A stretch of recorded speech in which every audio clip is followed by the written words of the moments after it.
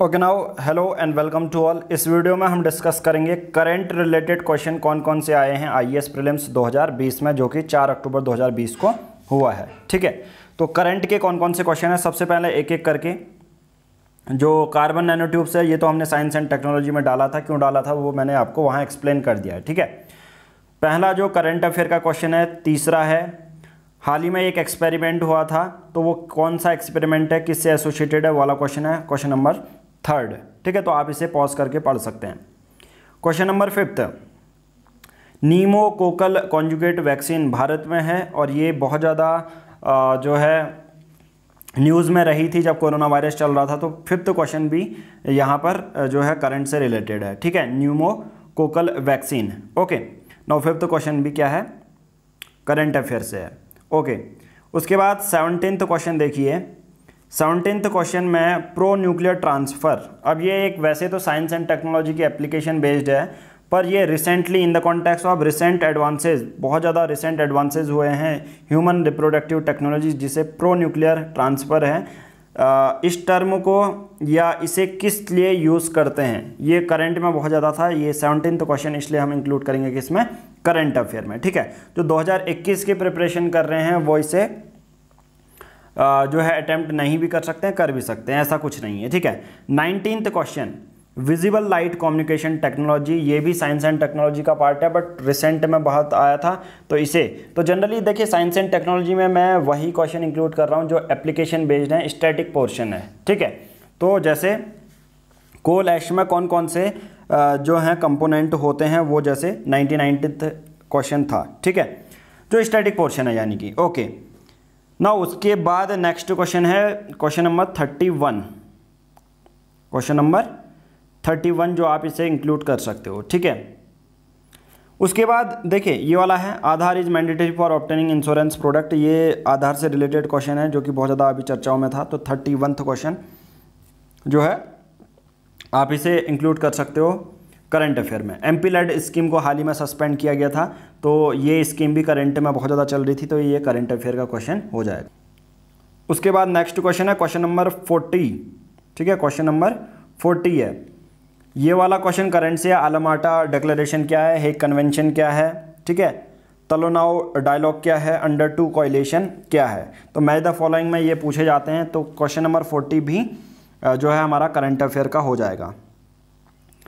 फिर है question number fifty five ठीक है, कौन सा question number fifty five with reference to Indian desert national park अब ये नेशनल पार्क बहुत ज़्यादा न्यूज़ में रहा और ये करंट वाला क्वेश्चन आप इसे इंक्लूड कर सकते हो। इसके बेसिस पे चार ऑप्शन दिए गए हैं। जैसे आज के हमने हिंदू एनालिसिस में वेस्टर्न घाट पढ़ा था कि मैंने क्वेश्चन पूछा था आपसे वेस्टर्न घाट जो है कितने राज्यों में फैला है? वैसे ही इंडियन डेजर्ट नेशनल पार्क कितने राज्यों में फैला है? ऐसा क्वेश्चन जो है करंट का भी है और फैक्चुअल स्टेटिक पोर्शन है बट करंट में मैंशन था, इसलिए ये पूछा गया है। Okay fifty fifth question fifty seventh question भी ये फिफ्टी सेवन्थ तो हिस्ट्री के बेसिस पे है, इसको हम इंक्लूड नहीं करेंगे। उसके बाद है फिफ्टी सिक्स और फिफ्टी एट्थ क्वेश्चन देखिए फिफ्टी सिक्स क्वेश्चन वैसे तो जोग्राफी में भी आप इंक्लूड कर सकते हो बट इंडिया और चाइना के बीच में स्टैंड ऑफ़ चल रहा था। तो सियाचिन ग्लेशियर की लोकेशन बहुत ज़्यादा न्यूज़ में रही होगी तो वो कहाँ पर है? ठीक है? अब वो स्पेसिफिक पूछते हैं वैली के बारे में नुरबा वैली जैसे आज अटल टनल है तो उस पर भी बहुत ज़्यादा वैली पासिस के बेसिस पर क्वेश्चन आ सकता था। ओके फिफ्टी सिक्स क्वेश्चन भी क्या होगा? करंट से होगा। 58 क्वेश्चन ये भी करंट से है सेंट्रल ग्राउंड वाटर अथॉरिटी के बारे में। देखिए, अब आपको द हिंदू एनालिसिस में पढ़ने में थोड़ा सा रिलीफ तो हुआ होगा, क्योंकि हम जितनी भी अथॉरिटी हैं वो कर लेते हैं। क्योंकि उसके बारे में हमेशा क्वेश्चन पूछा जाता है, जैसे was formed under the environmental protection act India है the largest area under the ground water irrigation in the world ठीक है तो इस तरह से, फिफ्टी एट्थ क्वेश्चन भी करंट से है बट वो बॉडी करंट में आई थी, इसलिए हम ये, इसे करंट में इंक्लूड कर रहे हैं। ठीक है? ओके उसके बाद next question sixty among the following tiger reserve which one of the has the largest area under critical tiger habitat ये भी न्यूज़ में आया था तो सिक्सटी क्वेश्चन भी हम इसे करंट अफेयर की कैटेगरी में डालेंगे। सिक्सटी फोर्थ क्वेश्चन वैसे तो मैंने ये बोला था इकोनॉमिक्स में इंक्लूड थी बट इंडियन नेशनल पॉलिसी की बायोफ्यूल जो है, हाल ही में अपडेट किए गए थे तो ये भी आप करंट में इंक्लूड कर सकते हो। ठीक है सिक्सटी फोर्थ क्वेश्चन उसके बाद हम जाएँगे क्वेश्चन नंबर सेवेंटी फोर्थ में। क्वेश्चन नंबर सेवेंटी फोर्थ देखने को मिलता है, ये इंटरनेशनल रिलेशन वाला है। और प्रेजेंटली क्या हुआ, वही चीज़ें हैं। The value of Indo Sri Lanka trade has consistently increase in the last decade पिछले दस सालों में इंडिया और श्रीलंका के बीच में ट्रेड बढ़ा है या घटा है। तो आपको कभी भी ऐसे क्वेश्चन आते हैं तो इंडिया और उसके नेबरिंग कंट्रीज़ के बीच में जो इकोनॉमिक्स रिलेशन है, वो बहुत ज़्यादा न्यूज़ में पूछे जाते हैं तो ये भी आपको पता होना चाहिए। सेवेंटी फोर्थ क्वेश्चन उसके बाद सेवेंटी सिक्स क्वेश्चन भी, किसान क्रेडिट कार्ड स्कीम से रिलेटेड है। तो ये भी आप इंक्लूड कर सकते हो किसमें करंट अफेयर में। ओके उसके बाद हम जाएँगे सीधे 95 क्वेश्चन और 93 और 95 और 97 में। देखो 93 वाला क्वेश्चन कौन सा है? देखिए।